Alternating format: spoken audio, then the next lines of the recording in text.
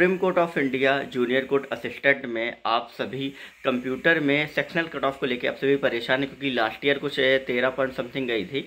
तो इस बार मैं आपको बता दूँ कि नोटिफिकेशन में ऐसा कुछ भी मेंशन नहीं है कि भाई अलग अलग सब्जेक्ट में सेक्शनल कट ऑफ़ रहेगी या स्पेशली कंप्यूटर में ही आपकी रहेगी कि भाई कंप्यूटर में इतने लाने आप सभी को कंपलसरी हैं, ऐसा कुछ भी वहाँ पर मैंशन नहीं है। तो आप बिल्कुल भी परेशान मत हो। ओवरऑल जो कट ऑफ़ है, बस वही आपको क्वालिफाई करना है, ठीक है? साथ ही जो डिस्क्रिप्टिव के लिए कई सारे स्टूडेंट परेशान नहीं है, कई सारे स्टूडेंट ये पूछ रहे टाइपिंग मैंने ये पैरा कंप्लीट कर लिया था, ये कर लिया था। तो उनको मैं एक चीज़ क्लियर कर दूँ कि अगर आपने सेकंड जो पेज में आप स्क्रॉल जब आपने किया होगा, अगर उसने चार लाइनें भी, तीन से चार लाइनें भी अगर आपने कंप्लीट कर ली हैं, तीन या चार लाइनें, ठीक है तो आप ये मानो कि आपने टोटल वर्ड्स तो आपने कंप्लीट कर लिए लेकिन आपकी एक्यूरेसी कितनी है, ये आप नहीं बता सकते हो, क्योंकि कारण क्या है कि कुछ वर्ड्स ऐसे होते हैं, आपको पता भी नहीं चलेंगे और वो आपसे गलत भी हो जाएँगे, ठीक है, तीन परसेंट बहुत कम होती है।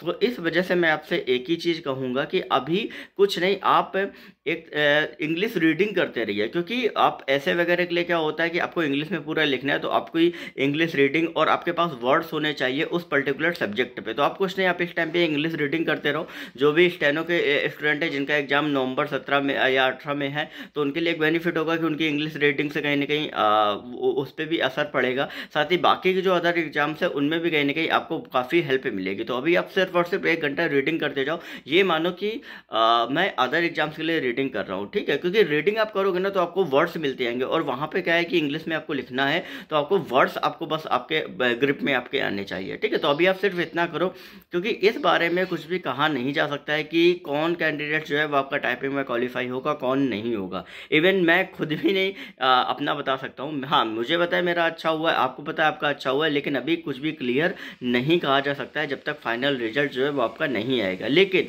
फाइनल रिज़ल्ट के तुरंत बाद आपका डिस्क्रिप्टिव पच्चीस अंदर अंदर हो जाएगा तो इसके लिए आप एक सेफ्टी उससे लेके चल सकते हो कि आप इंग्लिश वगैरह रीडिंग कर सकते हो, क्योंकि बहुत ऐसे स्टूडेंट हैं जिनकी इंग्लिश रीडिंग में ग्रिप है और लास्ट के जो 20-25 दिन रहेंगे ना तो वो क्या करेंगे? जो मेन मेन सब्जेक्ट्स हैं जिनके अलग अलग आपके ऐसे वगैरह आपके आते हैं, ठीक है? मेन में जो इंपॉर्टेंट टॉपिक्स हैं, बस उनमें क्या करेंगे? उनमें वो जा जाके पढ़ लेंगे और बाकी तो उनकी वर्ड्स पे ग्रिप है जिस, जिससे उनको लिखने में कोई भी प्रॉब्लम नहीं होगी, ठीक है? क्योंकि ऐसे में क्या होता है कि ग्रामेटिकल चीज़ें भी आपको कहीं ना कहीं आपको सही से लिखनी होती है, कुछ भी गलत नहीं करना होता है। तो बस इन सारी चीज़ों के अभी बीच में प्रैक्टिस करो, उसका जो आपको रिज़ल्ट है, वो आपको अदर एग्ज़ाम्स में भी आपको देखने को कहीं ना कहीं मिलेगा, ठीक है? तो आप अभी ऐसे इस तरीके से चाहो तो कर सकते हो, बाकी अपडेट्स के लिए चैनल को सब्सक्राइब कर सकते हो, जैसे ही कोई भी अपडेट मिलेगी, यहाँ पर आप सभी को बता दी जाएगी ओके?